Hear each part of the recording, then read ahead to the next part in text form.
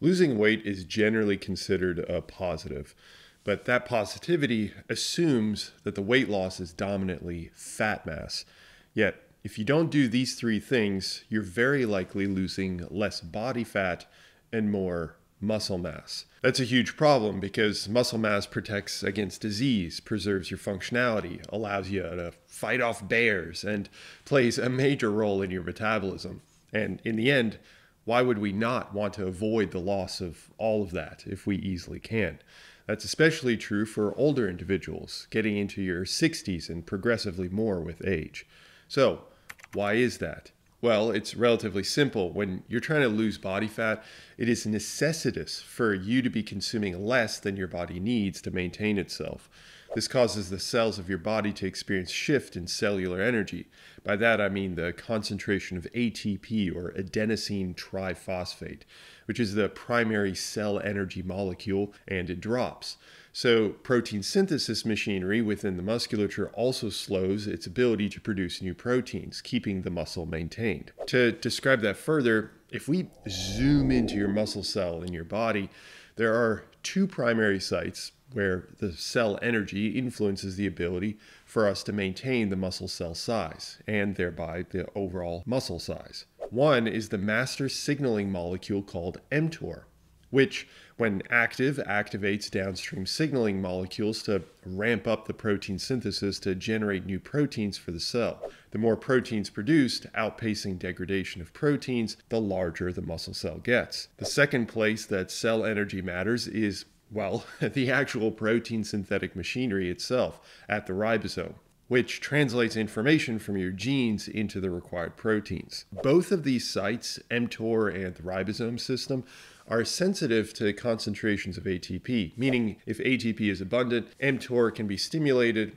and the ribosomes can function unimpeded, assuming all else is abundant. However, if cell energy drops as it does with weight loss, not only are both of these systems reduced in activity, but their counter systems, the protein degradation systems, are more active to generate substrate for energy generation, as well as amino acids for protein synthesis. So, this back and forth balance between protein synthesis and degradation is critical for maintaining a large functional muscle.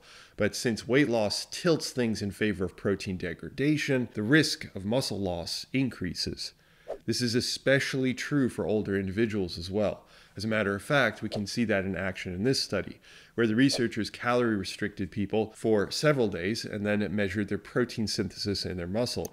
If we look at the data here, you can see that the fractional synthesis rate is on the vertical axis, and on the horizontal axis, we see EB, which stands for energy balance, indicating that these people were not in an energy deficit. And ED stands for erectile dysfunction. I had you there, didn't I? It stands for energy deficit, the erectile dysfunction of energy. See, I can still make it connect. The individual dots and triangles are the data from the individual men and women in each group. The researchers show a reduced protein synthesis rate in those undergoing an energy deficit. That's a pretty sizable effect, too. In relative terms, those consuming enough to maintain their energy state, the EB condition, had an almost 37% higher protein synthesis rate. That's nothing to sneeze at. It's kind of a, you know it always comes to these expressions. Honestly where in the world did that expression come from? Nothing to sneeze at? What? I mean i get what it means but who came up with that?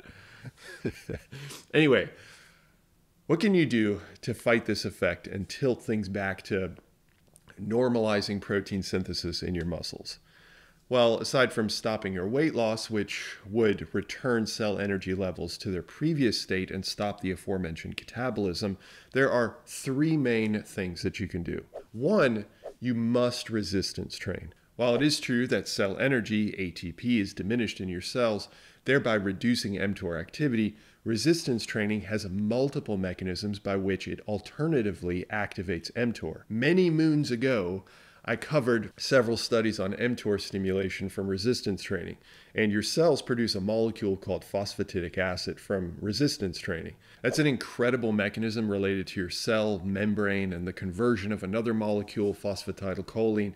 I won't go into it now, but the, the bottom line is the molecule, phosphatidic acid, enhances mTOR activity. So, an independent mechanism of cell energy. Let's look at what happens to people who resistance train, shall we? To the data. This is the same data and same designations as before. So EB being energy balance, ED being energy deficit. PL stands for placebo, but these individuals are resistance trained. And notice where that data is grouping together. It's about on par with the energy balanced individuals even though they are also in an energy deficit. So simply lifting weights recovers protein synthesis. How freaking cool is that? Okay, number two, you have to eat enough protein. Okay, it seems obvious, but let me explain why and show you the effect that it has in your cells.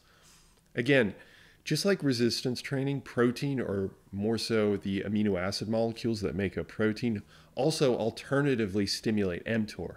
Keep in mind that in the images that you're seeing, there are simplifications of the process. It's usually multi-steps as described here.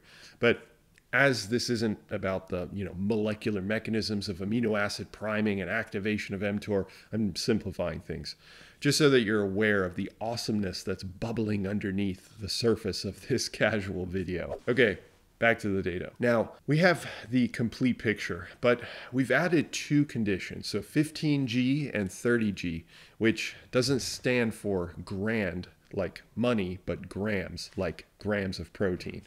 So, post resistance training, these participants consume 15 or 30 grams of protein. And as you can see, even in an energy deficit, they are able to outperform those that were in an energy balance. Now, think about the effect of doing nothing and losing weight, ED, for not just hours or days, but months.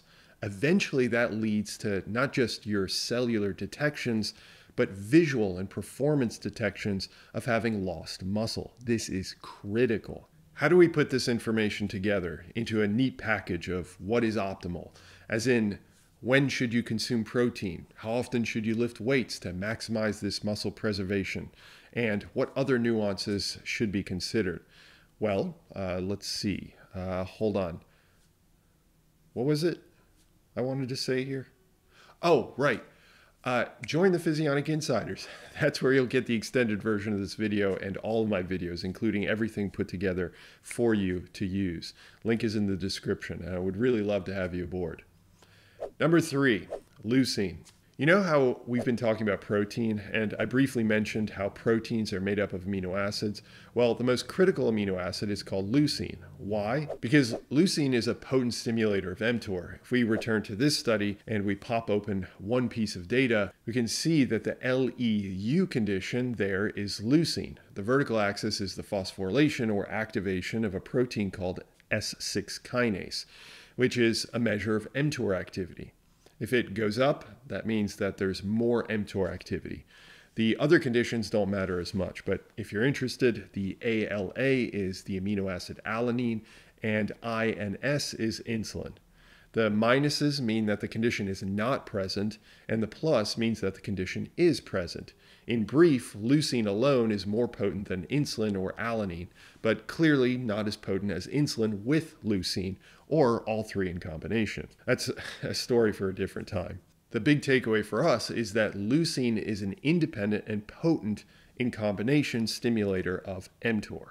So while consuming protein as a whole is beneficial, consuming leucine rich protein is even more beneficial relatively rich protein sources of leucine are, you know, for example, like uh, salmon, chicken, and other meats, or for more plant based alternatives, uh, soybeans, combinations of nuts, chickpeas. Those are just a few examples, but you can easily just find others and mix and match, especially for plant based. It may be especially necessary to mix and match, but it's entirely doable. Or if needed, You can also just consume a supplement that can help, but keep in mind that leucine alone is not sufficient, even if it is necessary. So, this is how you maintain that precious muscle mass when losing body fat. If you're interested in more on nutrition specifics, I'd recommend this video right here. And otherwise, this one right here will also offer some useful insights. Speak with you over there.